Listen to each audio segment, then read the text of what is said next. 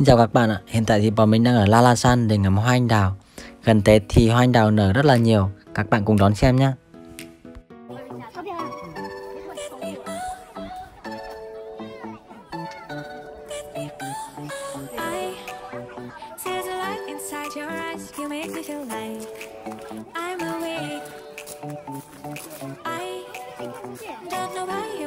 like a star in the sky.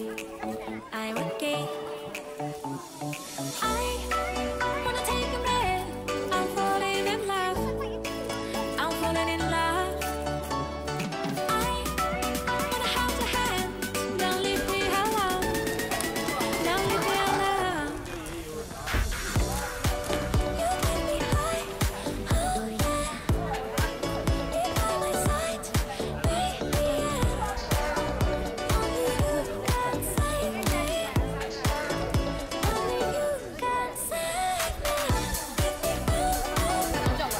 Hoa đào nở cực kỳ nhiều luôn các bạn ạ.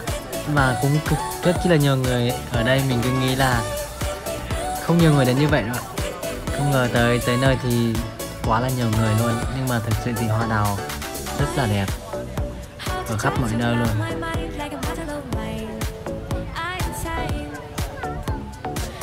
Bây giờ thì quay phim và chụp ảnh thôi các bạn ạ. Các bạn xem tiếp nhé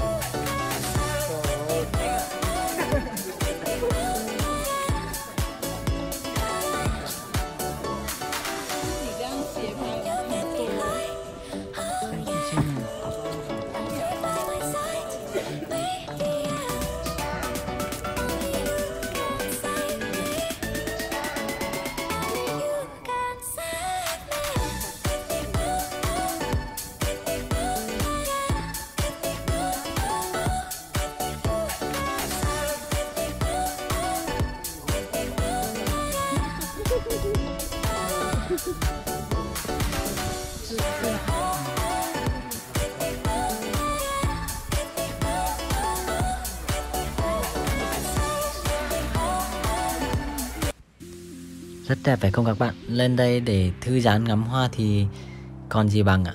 Nhưng mà đường ờ, lên đỉnh núi này thì có khá là phức tạp.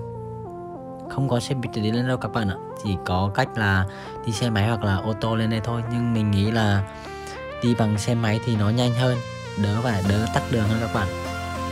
Nhưng mà đường lên đây thì cũng khá là nguy hiểm đấy các bạn. Đi xe nên cẩn thận một chút giờ chúng ta lại đi dạo tiếp nhá. Đi dạo ngắm hoa vẫn là thích nha các bạn ạ.